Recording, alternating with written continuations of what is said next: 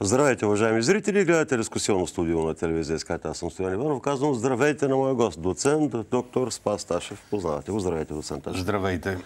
А, ръководител на департамент демография в Института за изследване на човека и населението към БАН. Също така е пръв основател и директор на културно-информационния център в Скопия на България. Но в конкретния случай съм го поканил в качеството му на съпредседател на Сдружението на потомците на бежанците и преселениците от Македония, от Република от Северна, Северна Македония. Македония да. От територията на. А, сега, отмина малко първоначалната емоция, а, но мисля, че е време все пак за един малко по-спокоен, но аналитичен разговор с вас за това, което се случи. Първо, Европейският съюз отдели Албания от Македония и обяви, че ще започне преговори с Албания, без въобще да споменава даже Република Северна Македония. Това първо, което предизвика бурни реакции в Скопие. И второ, в Скопие се появи Виктор Орбан министър-председателя на Унгария, който обаче там се появи като а, лидер на страна, която е а, председателстващ, ротационен в момента на, на Европе... Както ние бяхме на Европейския съюз, да. Най-общо казано. И сега, въпросът е. Господин Орбан предложи да не стане посредник между Скопия и София по някакъв начин. И аз искам да разбера какъв е, каква е идеята на неговото предложение и всъщност от чие име говори Орбан. Ами, ще си позволя да направя връзка между двете теми, които засегнахте. Ми, като, като, направете, защото той има, очевидно. Като да. връзката е тази, че унгарският представител е гласувал също за отделянето на Албания от Северна Македония. Тоест имаме 27 постоянни представители, които са гласували за единодушно прието решение. При това положение аз виждам едно огромно разминаване между декларираните намерения на Виктор Орбан в Скопия и реалната политика на унгарската държава. За мен по-скоро това посещение в Скопия беше посещение с послание за вътрешна употреба от страна на режима в Скопие. нищо чудно в това дори да е опит за гасене на пожар. Тъй като шамарът, който получиха управляващите в Скопия с разделянето им от Албания, отзвуча толкова звучно, толкова болезнено беше изживян, че някой трябваше да успокои това общество, което е развълнувано от разделянето. Е, един скопянин даже ни нарече мизерници. Всички българи, да. Да, нарекаха мизерници, българският държавен глава, България като народ за това, че не сме сложили знамето на Северна Македония. В същото време, няколко дни по-късно, по време на тази сесия на ООН, ние видяхме, че президентът на Северна Македония беше прият от американският президент Байден и на тази среща също нямаше знамето на Северна Македония. Става въпрос за едни неофициални срещи. Не чух обаче тези смели юнаци, носещи сръбски шайкачи на главите си, да протестират срещу това мизерно в кавички поведение на американският президент. Просто не се вписва в тяхната риторика подобно нещо, докато целта им е да всяват непрекъснато напрежение с България. Замисълът е много елементарен. Те не желаят членство в Европейския съюз, но няма как да го обяснат на своите избиратели, поради което търсят неистово някой друг да бъде виновен – а кой е по-удобен от България да бъде виновен? Доколкото си спомням, на Илия Бешков имаше една карикатура от времето на Кралска Югославия. Имаше едно магаре, което се спъва на мост и отдолу пишеше, ако в Вардарската бановина магаре се спъне на мост, виновна е България. Тоест, това е стара сръбска политика от 13-та година насам, непроменена. Жалко, че ние доста късно така им правят. Нашите управляващи разбраха това нещо, но пък трябва да ги поздравим с тяхната единодушна позиция в последният парламентарен ден, че застанаха зад българските интереси. Да, в Скопия това се тълкува като някакъв предизборен ход, без значение какъв е, очевиден е факта, че на фона на нашето разпокъсано политически българско общество, поне по този проблем имаме единодушие, което е някаква надежда, че ще се умеем да водим и в бъдеще успешно играта. Да, но аз все пак си повтарям въпроса. От чие име говори Виктор Орбан там? Вие казахте, то за вътрешно политическа употреба в Република Северна Македония, но все пак министър-председател на страна, която е член на Европейския съюз и която в момента председателства, си прави труда да отиде в Скопие. Той, между другото, не, не си позволи враждемен към, директно враждемен към България тон. Просто каза, че има моменти за доизясняване в позициите и че той ще посредничи. Но, защо го прави? Ами, според мен, става въпрос за бизнес делка. Сега, спорно е дали тези 500 милиона евро са от Китай, но като имаме предвид, че самата Унгария има ограничен достъп до европейски фондове заради политиката, която провежда, очевидно е, че унгарското правителство не разполага с такъв ресурс, за да направи заем от 500 милиона евро на Северна Македония. Тоест, по-вероятно е тук наистина да става въпрос за китайски пари, които просто преминават през Унгария да бъдат изпрани и да бъдат вкарани в Северна Македония. Ролята на Северна Македония тук е ясна. Трябва да се направи този път Солунско пристанище Северна Македония, Белград, Унгария, тъй като Китай е стъпил здраво в Унгария, гледа на нея като свой преден пост в Европейския съюз, до там трябва да стигат китайските стоки, оттам безпроблемно да се разпространяват из Европейският съюз. Само, че тези 500 милиона евро някой трябва да ги похарчи. Моето лично мнение е, че Орбан отиде с такава високопоставена делегация от няколко министри с цел да се договорят как унгарски фирми ще освояват тези средства. Тоест, съвсем реалистично е половината от тези пари да бъдат върнати в Унгария под формата на а, това, че ще бъдат изпълнявани обекти от унгарски фирми. До тук всъщност нищо наредно не виждам, до толкова доколкото Унгария отстоява своят интерес – Веднага обаче последва изявление от страна на македонски министри, че спират процедурата по изграждането на македонската част от тъй наречения коридор на 8. Тази част, която трябваше да свърже с Гюешево.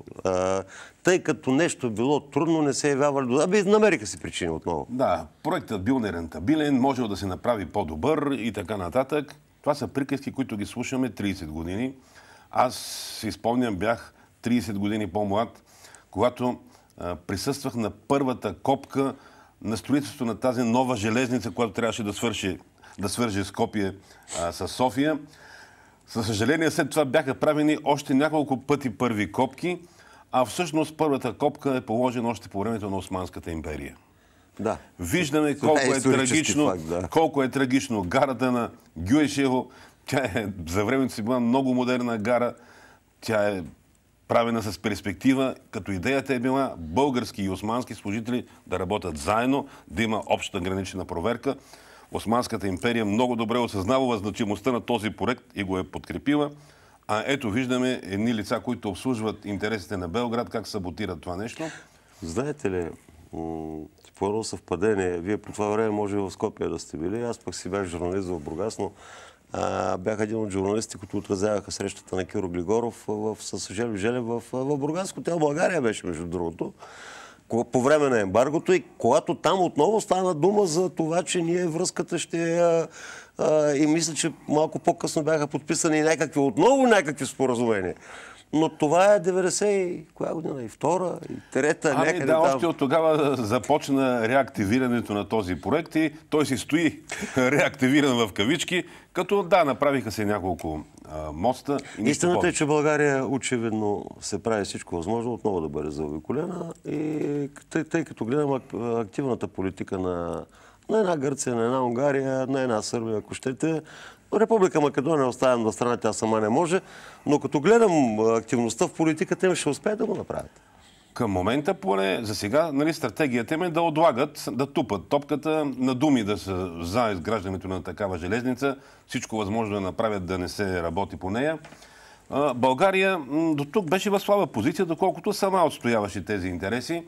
Но преди две седмици ние видяхме а, посещение на председателя на Албанския парламент в Скопия, който много ясно заяви, че Албания критикува Северна Македония за това, че не иска да, да изгражда коридор номер 8. А, чухме и доста сериозно послание от Италия. Аз мятам, че на ниво Европейски съюз България и Италия трябва да работят много активно в а, тази посока.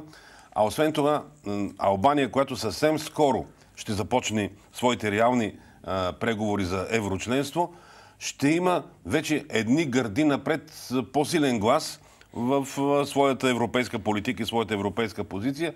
Така че тези три държави биха могли поне в един хор да пеят на ниво Европейски съюз а, и да убеждават европейските бюрократи, че това е стратегически проект. Между другото, днес гледах едно интервю на северно-македонския министр за евроинтеграция, който също заяви, че от гледна точка на интересите на НАТО, този проект наистина е стратегически. Да, този министр е албанец, той говори доста по-обиграно от... Орхан Муртезани. Муртезан, да. Трябва да кажа, че с такива хора би могло доста по-добре да се общува, да се обсъждат всички плюсове и минуси, докато ВМРО да помене на Митковски, освен, че се направи регистрация на партията в Сърбия, което е парадокс, нали? Историческото ВМРО е създадено основно за да дава отпор на сръбската пропаганда в Македония, а те направиха Сърбия своя втора собствена държава, регистрирайки а, там своята формация. Тези хора не знам дали дълго време ще се умеят да поддържат вътрешно-коалиционният баланс на управляващата среда в Скопие. Но очевидно е, че там текат процеси. Много е вероятно Албания, албанският фактор да започне да мобилизира македонските албанци, да започнат по-активно да устояват своите интереси на Балканите. Така че, както се казва, може да има развитие, всичко зависи от, от нашата активност. Да. А, всъщност, можем да си поговорим. Нали знаете, имаше на времето поради изолираността, самоизолираността на Албания и съответно нейното изоставане, имаше една така българска приказка, абе, ти си като албански реалтан. С идеята, нали, малко обидна за албанците, не знам доколко е било справедливо тогава, че албанските реалтани загряват много бавно. Е, хайде сега да си поговорим за албанския реалтан, за скопските реалтани, ама може би и за българския реалтан трябва да си поговорим. Защото а, вие многократно в това студио и за съжаление не сте само вие, значи щях да кажа, али това е лична позиция на доцент Спас Ташев или пък на неговата организация е позиция, но много други гости с а, дори понякога отличаващи се в детайлите от вашето мнение, твърдят същото. България като че ли на моменти проявява някаква ясна позиция, след това я губи, като че ли няма целенасочена, дългосрочна политика в това отношение. Смятам, че... И, и аз говоря и за економическите връзки. Ето за албанския фактор. Вие сте познавач на Албания, бяхте многократно там. А, книга имате, излезе на албански язик за българите в Албания. А, имате и, ще го кажа директно, нали, за да не се хвалите вие. Имате и вие някаква заслуга за признаването на българското младсинство, нали, наред с много други политици, общественици и учени а, в, в Албания. А, но, но къде е, какво ни куца още, за да, за да успеем да направим това, което е важно в крайна сметка и за нас? Хайде, Северна Македония, съжалявам да правят каквото си искат. Ще тръгна от е, този народен популярен вид за албанския триотан, познавайки в дълбочина политиката на Албания към албанците на Балканите, трябва да кажа, че в най-лошият период на режимът на Енвер Ходжа, Албания никога не е изоставала грижата за своите сънародници албанци на Балканите. За разлика от? За разлика от България. От тази гледна точка няма да бъде пресилено, ако трансформираме тази приказка за албанския риотан в български риотан. Толкова бавно загрява българският риотан. 30 години не можа да разбере, че само с добри пожелания няма как да стане промяната. Скопия има зависимости с Белград и ние трябва да прекъснем тази пъп на връв, да прекъснем тези зависимости, който може да стане само чрез една проактивна политика. Ето, ние какво ще противопоставим на тези 500 милиона евро, които Китай през Унгария дава.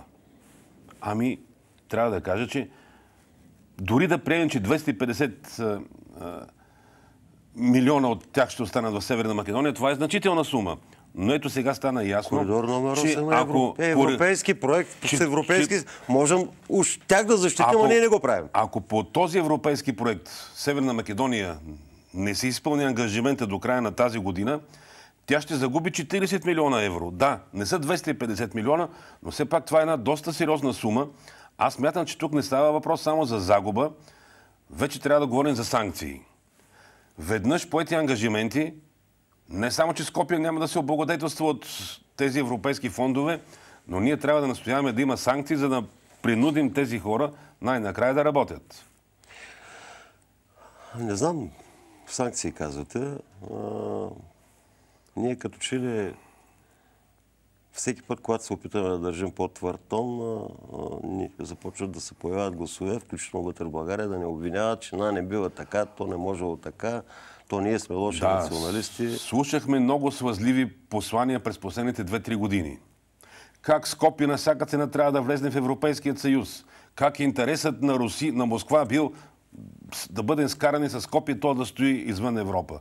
И в един момент видяхме, че така лицето, което най-много се оприличава като проводник на руските интереси в Европейския съюз, Виктор Орбан, прави същите послания. И в един момент тези критици през последната седмица си посипаха главите с пепел. Сега се чудят нали, каква нова мантра да измислят. Но две години непрекъснато да повтарям по студия. Защо никой не направи анализ на публикациите в руската преса по отношение на Северна Македония? Да се види как Москва непрекъснато критикува България за това, че ние спъваме еврочленството на Северна Македония и аз се питам, Бога ми, какъв интерес има Москва да подкрепя непрекъснато Скопие в този процес на евроинтеграция и като навържем пъзилът, като напаснем неговите елементи, ще видим, че всъщност основната стратегия е троянски кон. Вероятно това е операцията. Нереформирано Скопие, Някои биха казали, че те имат повече от един троянски кон вече. Вие споменахте Унгария, ама много други споменават и България. Така. Сигурно бих посочил няколко европейски държави, в които има силно руско влияние. Тук въпросът по-скоро обаче е наистина за български интерес. Сега, вие от името на вашата организация изпратихте писмо, открито писмо до Виктор Орбан, ако не се лъжи, даже го проверяхте на унгарски и така нататък. Не знам дали ще се трогне особено Орбан, защото той си гони а, интереса първо на държавата и второ неговия личен. Съвсем очевидно. логично. Първо да кажа, ние работим на базата на доброволни начала. Ако трябва да направя оценка на нашата акция, тя беше закъсняла. Ние изпратихме писмото във втория ден от неговото посещение, като го доставихме на унгарското посолство в Скопие, унгарското посолство в Скопие а, и кабинета на министър-председателя на Унгария. Тоест, при всички случаи писмото е стигнало до него. Да, той не се съобрази с посланията, които сме направили. Вероятно не е имал и възможност да промени дневния ред или тези договорки, които са били направени предварително. Ние си давахме сметка, че това най-вероятно ще бъде така. Но след това писмо ние направихме и една декларация, която смятам, че също е така със съществено значение. Писмото до Орбан и декларацията по повод направените послания в Охрид, не само, че отново сме ги доставили до всички държавни институции в България, Унгария и Северна Македония, но днес лично аз ги спратих до всички акредитирани посолства в Скопие и в София.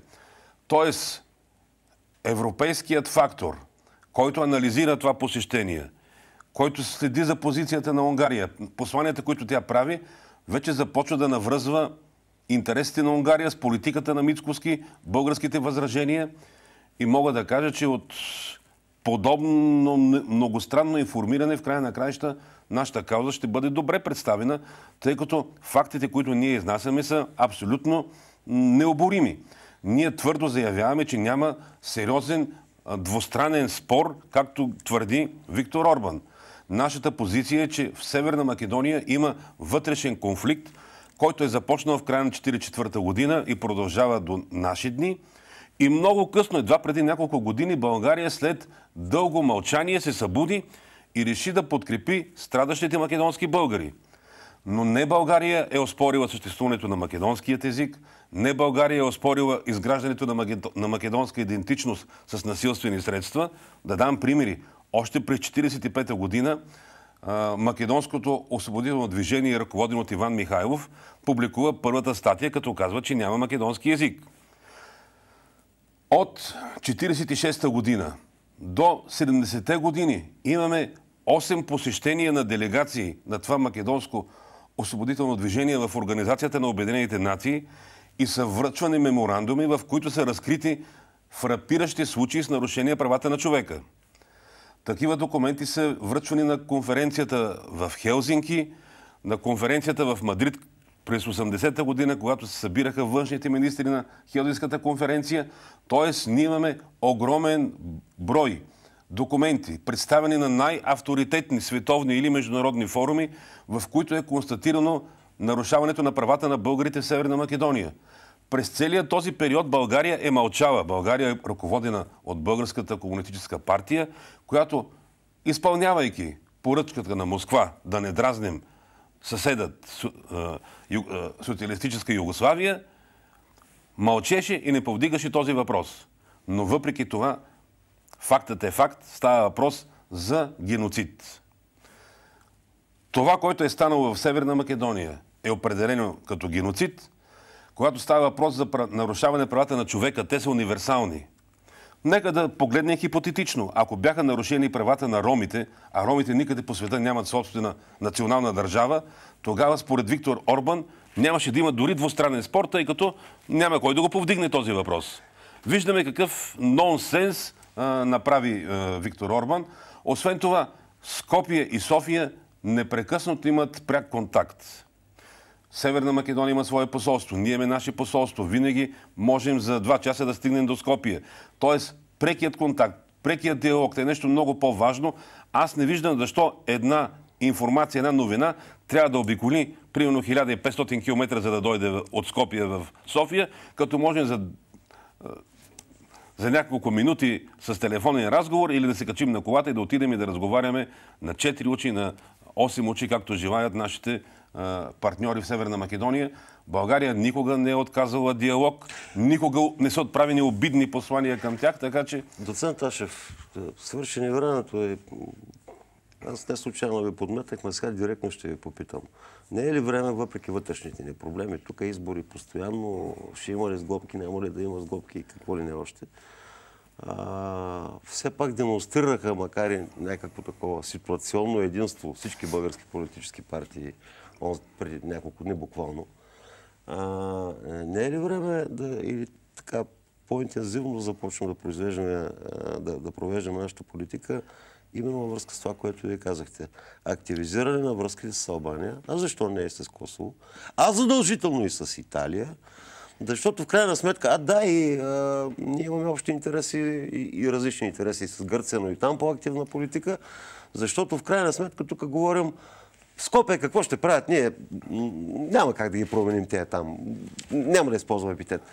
Но, но това е български национален интерес. Да не говорим, че като говорим за пътища, ние продължаваме да си блокираме и развитието и на ЖП инфраструктурата към Гърция, и на магистралата към Гърция. А там нагоре е Румъния, която също има интерес през нея да минават разни неща. И така да.